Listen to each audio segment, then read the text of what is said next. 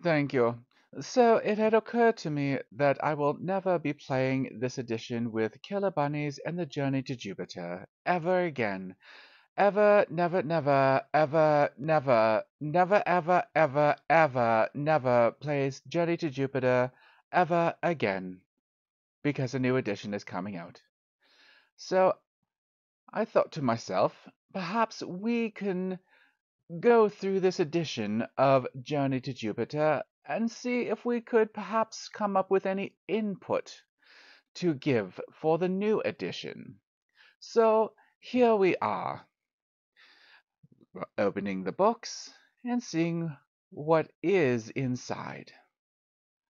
Ah, and we have found the most important thing dice.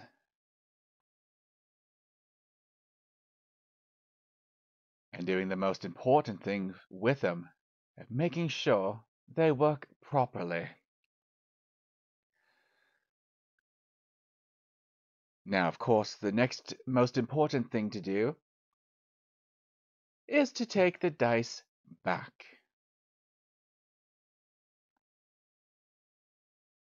And re-roll them.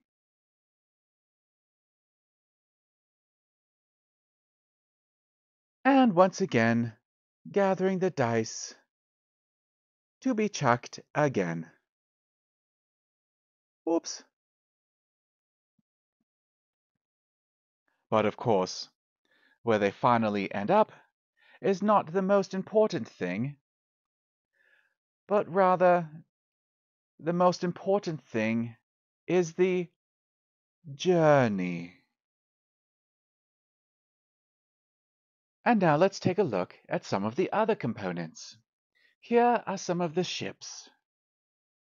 And looking through more pieces, we see one here, and perhaps it is a chin guard. Picking up another piece, perhaps it rolls like a die. It does not, and yet it is still satisfactory, as is the chin guard. Moving on to other pieces, picking them up and throwing them like dice. Perhaps it's as satisfying as dice, perhaps not. But discovery requires experimentation.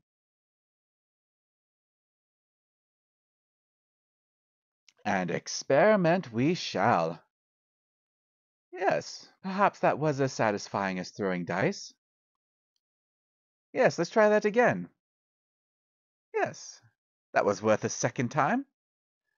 So it shall be worth a third time.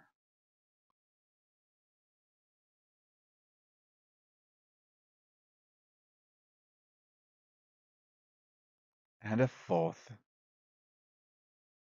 After having tried every other piece to see how it fares compared to dice, we'll now retry a few things. Perhaps the small cards can be as satisfying as throwing dice. Perhaps the large cards have their own satisfaction.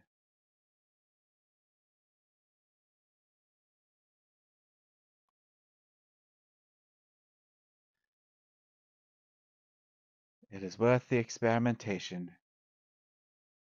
And though it seems self-evident, in the end, when given the option, taking the dice themselves grants most satisfaction of all. Yes. Yes, this is very satisfying. Very happy with the way these dice move and roll and feel.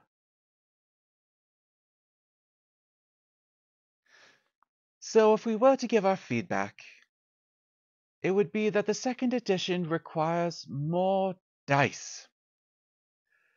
So many, in fact, that perhaps every piece could be dice. Yes, that seems like a, uh, the most reasonable conclusion to come to. So I look forward to a giant crate of dice called Killer Bunnies and the Journey to Jupiter. "Thank you, and as they say, I'm Outie nine thousand. Good day." Can you say killer bunnies? Good job.